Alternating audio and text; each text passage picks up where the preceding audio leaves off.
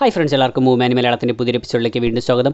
റോഷൻ ആൻഡ്രൂസും ബോബി സഞ്ജയും വീണ്ടും ഒന്നിക്കുന്ന ദുൽഖർ സൽമാൻ നായകനാകുന്ന സെലൂട്ട് എന്ന സിനിമയുടെ ട്രെയിലർ കണ്ടതിന് ശേഷം എനിക്കതിൽ നിന്നും കണ്ടെത്താൻ സാധിച്ചിട്ടുള്ള കുറച്ച് കാര്യങ്ങളാണ് ഇന്നത്തെ എപ്പിസോഡിലൂടെ ഞാൻ നിങ്ങളോട് ഷെയർ ചെയ്യാൻ പോകുന്നത്. ഈ പറയാൻ പോകുന്ന കാര്യങ്ങളൊക്കെ ഒരുപക്ഷെ ശരിയായിട്ട് വരികയാണെങ്കിൽ സിനിമ കാണുന്ന സമയത്ത് തീർച്ചയായിട്ടും നിങ്ങളുടെ ആസ്വാദനത്തെ അത് ബാധിക്കുന്നതായിരിക്കും. അതുകൊണ്ട് തന്നെ വേണമെങ്കിൽ ഈ വീഡിയോ ഇപ്പോൾ തന്നെ നിങ്ങൾക്ക് സ്കിപ്പ് ചെയ്ത് പോകാം. അല്ലാത്ത പക്ഷം നമുക്ക് നേരെ വീഡിയോയിലേക്ക് കിടക്കാം.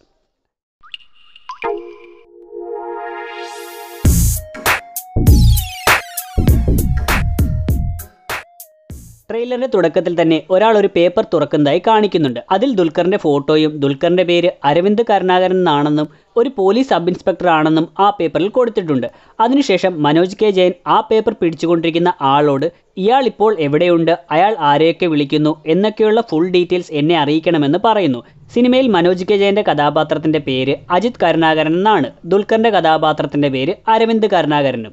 സോ ഇവർ രണ്ടുപേരും സഹോദരങ്ങളായിരിക്കാം. അതിനെ സൂചിപ്പിക്കുന്ന തരത്തിൽ സാനിയയുടെ ബർത്ത്ഡേ പാർട്ടിക്ക് ഇവർ ഒരുമിച്ച് പങ്കെടുക്കുന്നതും മറ്റും കാണിക്കുന്നുണ്ട്. ആ സമയത്ത് തന്നെ മനോജ് കെ ജയൻ ഒരു പാവാട ഇട്ടുകൊണ്ട് ഡാൻസ് കളിക്കുന്നതായും മറ്റും കാണാം. മനോജ് കെ ജയന്റെ മകളായിട്ടായിരിക്കാം ഒരുപക്ഷെ സാനിയയുടെ കഥാപാത്രം സിനിമയിൽ വരുന്നത്.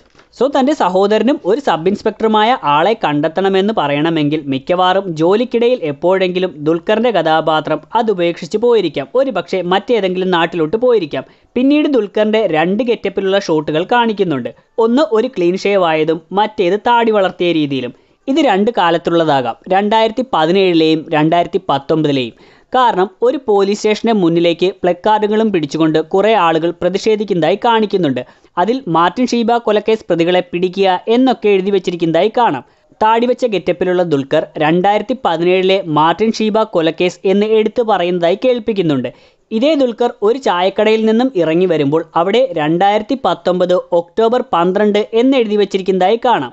സോ താടിവെച്ച ദുൽഖറിനെ കാണിക്കുന്നത് രണ്ടായിരത്തി പത്തൊമ്പത് കാലഘട്ടത്തിലാകാം. രണ്ടായിരത്തി പതിനേഴിൽ നടന്ന മാർട്ടിൻ ഷീബ കൊലക്കേസ് ദുൽഖർ അന്വേഷിക്കുകയും പിന്നീട് രണ്ട് വർഷങ്ങൾക്ക് ശേഷം ആ കേസ് റീഓപ്പൺ ചെയ്യുന്നതുമൊക്കെയാകാം സിനിമയിൽ കാണിക്കുന്നത്.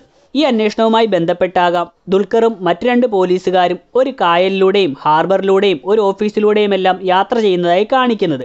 ആ ഓഫീസിൽ അവർ എത്തുമ്പോൾ പ്രോപ്പർട്ടി കൗണ്ടർ എന്നൊരു ഭാഗത്ത് എഴുതി വച്ചിരിക്കുന്നതായി കാണാം. അതിനുശേഷം ഒരാൾ നിങ്ങൾ പറയുന്ന പേരും അഡ്രസ്സും എല്ലാം ശരിയാണ് പക്ഷേ നിങ്ങൾ അന്വേഷിക്കുന്ന ആൾ ഞാനല്ല എന്ന് പറയുന്നുണ്ട്. സോ ഇവർ ഈ ഓഫീസിൽ വന്നിരിക്കുന്നത് ഇയാളുടെ അഡ്രസ്സ് അന്വേഷിച്ചാകാം. ഇതൊരു പക്ഷേ വില്ലേജ് ഓഫീസോ മറ്റോ ആകാം. ഈ കൊലപാതകവുമായി ബന്ധപ്പെട്ട് മുരളി എന്നൊരാളെ അറസ്റ്റ് ചെയ്തതായി ഒരു പോലീസ് റെക്കോർഡിൽ ആരോ വായിക്കുന്നതായി കാണിക്കുന്നുണ്ട്. അയാളുടെ ഫോട്ടോ കൊടുത്തിരിക്കുന്നതായും മറ്റൊരു ഭാഗത്ത് കാണിക്കുന്നുണ്ട്. ആ ആളെ തന്നെയാണ് മനോജ് ജയനും കുറച്ച് പോലീസുകാരും ചേർന്ന് തെളിവെടുപ്പിനായി ഒരു സ്ഥലത്ത് കൊണ്ടുപോകുന്നതായിട്ട് കാണിക്കുന്നത്. ഈ സ്ഥലത്ത് തന്നെയായിരിക്കാം ദുൽഖറും ആ രണ്ട് പോലീസുകാരും ഡെഡ് ബോഡിയോ മറ്റോ കണ്ടുകൊണ്ട് മൂക്ക് പൊത്തുന്നതായും കാണിക്കുന്നത്. അങ്ങനെയുള്ള ഡെഡ് ബോഡികളുടെ ഫോട്ടോയും ഒരു ഷോട്ടിൽ കാണിക്കുന്നുണ്ട്.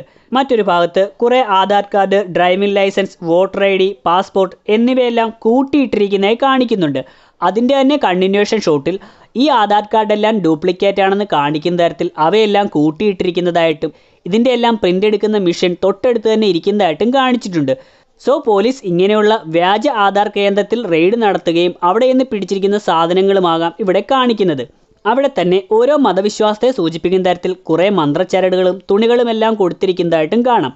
പിന്നീട് മറ്റൊരു വീടിന്റെ അകത്തേക്ക് ദുൽഖർ കയറുന്നതായി കാണിക്കുന്നുണ്ട്. അത് മിക്കവാറും ആ മരണം നടന്ന വീടാകാം. കാരണം ആ സമയം അവിടെ ആൾ താമസമൊന്നുമില്ലാത്തതുപോലെയാണ് കാണിക്കുന്നത്. അവിടെ ഷെൽഫിലിരിക്കുന്ന ഒരു അരയനത്തെ പോലെയുള്ള ശില്പം ദുൽഖർ എടുത്ത് നോക്കുന്നുണ്ട്.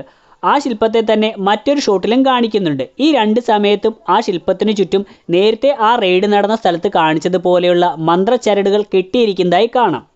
അതിനുശേഷം രണ്ടായിരത്തി പത്തൊമ്പതിലെ ആ താടിവെച്ച ദുൽഖറും ആ ശില്പം പരിശോധിക്കുന്നതായി കാണിക്കുന്നുണ്ട്. ഈ സമയം അവിടെ ആൾതാമസമുണ്ടെന്നും അവിടെയെല്ലാം പെയിന്റ് അടിച്ച് വൃത്തിയാക്കിയിരിക്കുന്നതായിട്ടും കാണിച്ചിട്ടുണ്ട്. സോ ഈ ഒരു ശില്പത്തിനും ഇങ്ങനെയുള്ള ആ ആചാരങ്ങൾക്കും ആ വ്യാജ ആധാർ കേന്ദ്രത്തിനും മറ്റും ഈ ഒരു കേസുമായി ബന്ധമുണ്ടാകാം.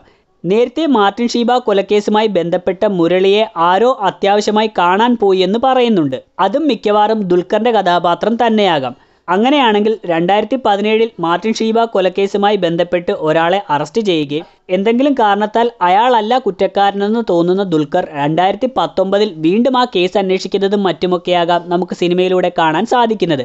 ഇത്രയും കാര്യങ്ങളാണ് എനിക്ക് ട്രെയിലറിൽ നിന്ന് മനസ്സിലാക്കാൻ സാധിച്ചിട്ടുള്ള കാര്യങ്ങൾ. വീഡിയോ നിങ്ങൾക്ക് ഇഷ്ടമായിട്ടുണ്ടെന്ന് ഇഷ്ടമായിട്ടുണ്ടെങ്കിൽ പ്ലീസ് ലൈക്ക് ചെയ്യുക. മറ്റുള്ളവരിലേക്ക് വീഡിയോ എത്തിക്കാൻ വേണ്ടി ഷെയർ ചെയ്യുക. എല്ലാവരും ചാനൽ സബ്സ്ക്രൈബ് ചെയ്യാൻ ശ്രമിക്കുക.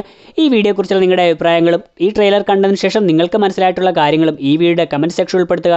അടുത്തൊരു എപ്പിസോഡിൽ കുറച്ച് സിനിമാ വിശേഷങ്ങളും കൂടുതൽ അറിവുകളുമായിട്ട് വീണ്ടും കണ്ടുമുട്ടുന്നവരെ ബൈ